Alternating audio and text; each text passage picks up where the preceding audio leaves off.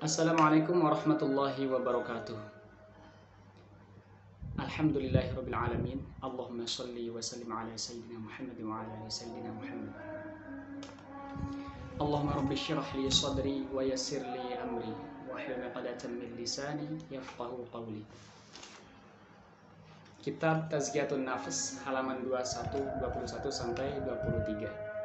Fadilah ilmu ta'lim ilmu baik. Banyak banget nih dalil-dalil tentang ilmu gitu ya. Banyak banget. Termasuk dalil yang paling terkenal itu surah 58 suratul mujadalah ayat 11 posisi paling kanan paling bawah. Asik. Sedikit-sedikit kayak Ustaz Adi. Yarfa'illahu alladhina amanu minkum walladhina utul ilma darajat Bismillahirrahmanirrahim. Allah akan mengangkat orang-orang yang beriman di antara kalian dan orang-orang yang diberi ilmu pengetahuan beberapa derajat.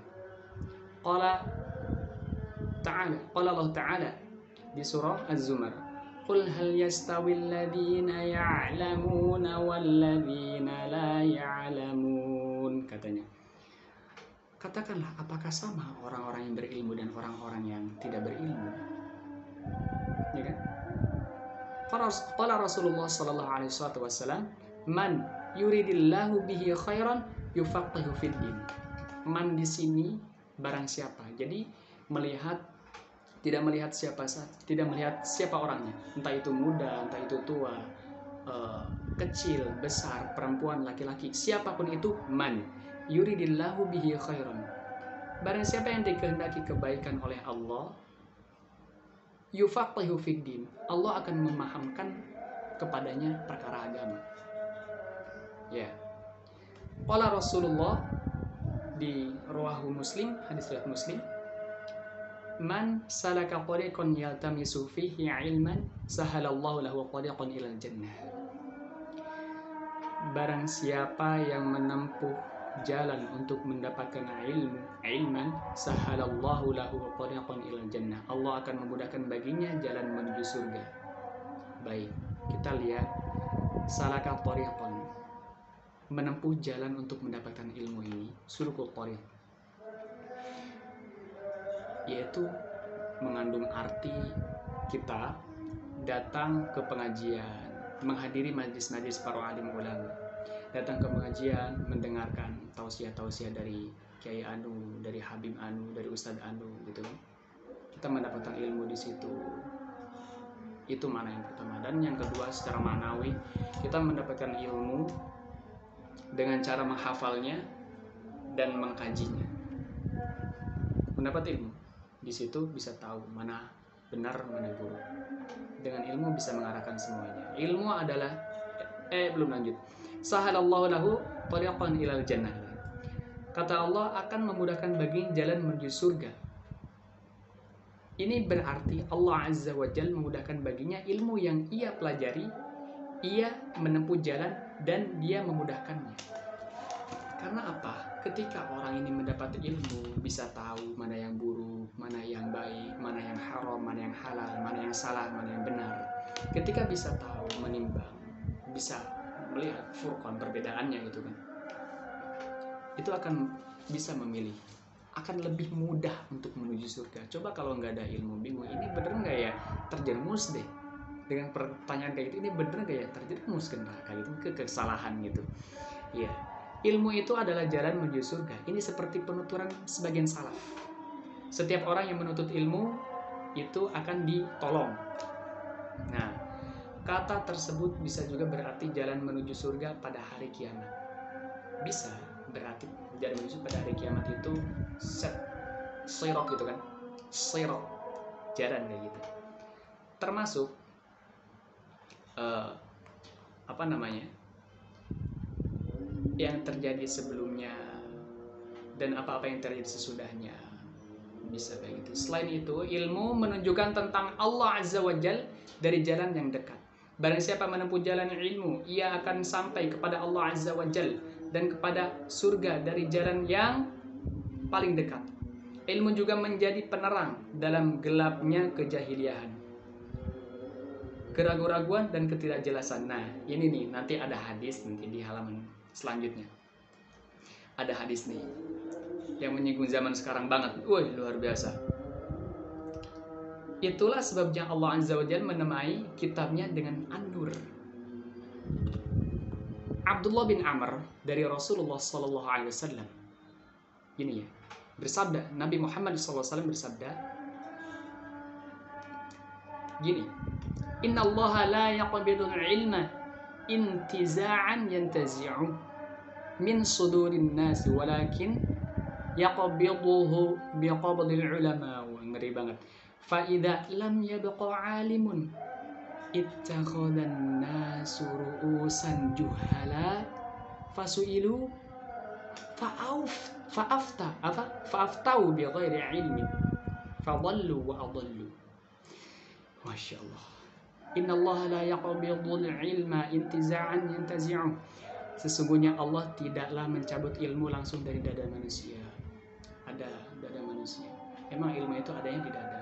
Allah itu nggak nyabut langsung ilmu yang ada dalam dada kita nih Yang ada dalam dada manusia. Walakin Yaqbidhuhu biqabdil ulama. Tapi Allah mencabutnya dengan mewafatkan para ulama. Allah mencabut ilmu itu dengan cara mewafatkan para ulama makanya orang-orang yang beriman itu ketika mendengar ulama anu meninggal ulama anu wafat itu sebuah musibah banget. Bukan hanya musibah bagi orang beriman bagi alam ini musibah banget. Karena apa? Kalau ulama sudah nggak ada lihat selanjutnya. Fa maka tek tek ini fa. Fa itu tek tek langsung gitu. Fa ida faida apabila lam yabqa alimun. Apabila tidak ada lagi seorang alim pun orang yang berilmu ittakhadhan nasu ru'usan juhala. Manusia akan mengangkat orang-orang yang bodoh sebagai pemimpin. Ya mau siapa lagi yang mau memimpin orang berilmunya udah nggak ada udah pada wafat udah meninggal gitu kan?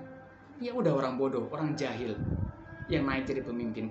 Ujung-ujungnya apa? Kalau orang naik, apa orang bodoh jadi pemimpin? Apa katanya? Gini, fas fasu ilu jelas kalau pemimpin itu pasti ditanya ini bagaimana, ini bagaimana gitu kan. Nah, ketika mereka ditanya, faaf ghairi ilmin. Mereka ber, uh, dan mereka pun berfatwa tanpa ilmu. Wuh, ditanya berfatwa tanpa ilmu.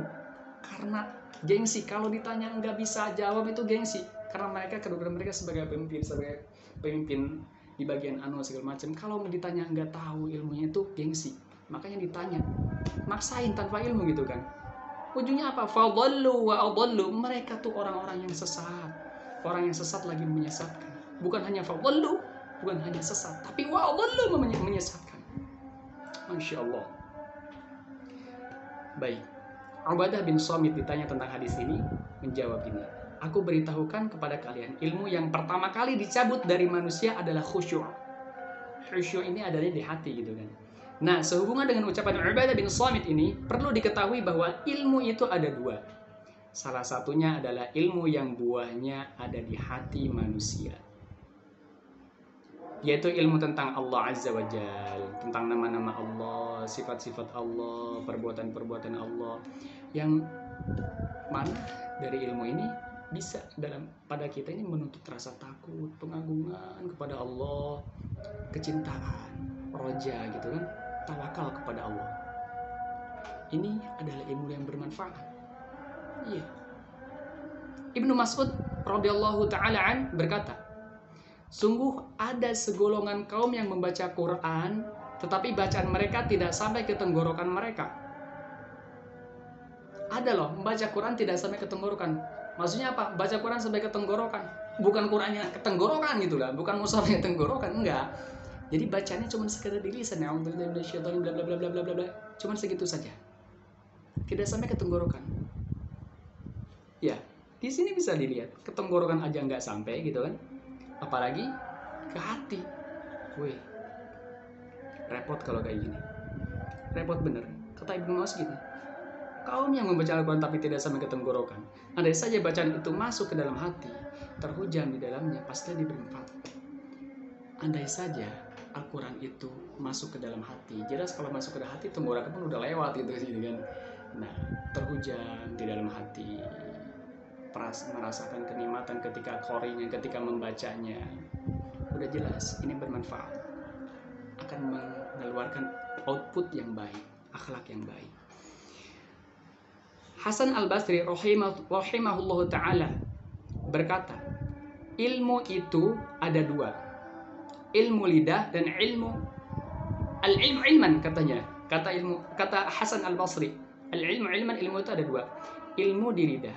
Ilmu di lidah ini ilmu yang menghujat anak Adam. Seperti tersebut dalam hadis. Kama fil hadis Al-Quran itu akan menjadi hujah bagimu atau akan menghujatmu katanya kata Hasan al Kata dalam hadis ini iya kan? Itu namanya ilmu lidah. Wih bilang nih hati-hati nih. Kalau udah ilmu menghujat udah repot. Yang kedua ilmu filgal dalam hati. Ilmu inilah yang bermanfaat. Bermanfaat. Ilmu yang pertama-tama dicabut adalah ilmu yang bermanfaat yaitu ilmu batin yang dapat memperbaiki dan meluruskan hati. Sisanya ilmu lisan jadi ilmu maksud di sini kenapa ulama wafat itu adalah musibah itulah di dalam ulama itu.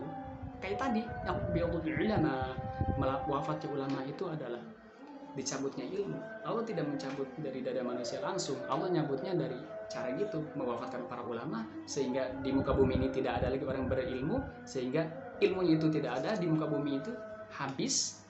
Dan yang sisa dari ilmu itu hanya ilmu lisan ilmu yang itu yang kedua itu. Ilmu yang orang-orang pun meremehkannya dan tidak mengamalkan hal-hal yang menjadi tuntutannya. Hanya sekedar bacaan lisan bisa menyalahkan orang lain kamu ini kamu ini tidak. Buta banget sama diri sendiri itu. Gitu. Lalu ilmu ini pun hilang dengan kematian pemiliknya. Maksudnya ilmu tadi ilmu hati itu hilang. Bersamaan dengan orang yang memiliki ilmu itu. Para ulama akhirnya terjadi kiamat jelas ketika penduduk bumi menjadi sejahat-jahatnya ketika penduduk bumi menjadi sehat-sehat makhluk. Penduduk bumi menjadi sejahat-jahat makhluk karena memang sudah tidak ada lagi orang yang berilmu, tidak ada lagi orang yang ulama yang menjadi apa namanya menjawab problematika umat gitu kan. Jadi bertindak hanya sebisanya bertindak sepengetahuan akalnya saja tidak bukan ilmu dari hati bukan ilmu dari Allah. Iblis itu kan pintar juga. Ini penjelasan dari kitab Tazkiyatun Nafas. Kitabnya sih berbahasa Arab. Kitabnya berbahasa Arab. Saya menjelaskan pakai terjemahan. Iya kitabnya bahasa Arab. Menjelaskan terjemahan agar ini juga ya. Agar saya paham juga. Agar semuanya paham juga tapi sedikit demi sedikit. Masih belajar Bismillah. Terima kasih. Uh, kurang dan lebih mohon maaf. Dan apabila salah mohon dimaaf. Dan mohon koreksinya dari para dosen dari Ustadz. Saya Muhammad Rifai. Wallahu alam billahi wa taufik wassalamualaikum warahmatullahi taala wabarakatuh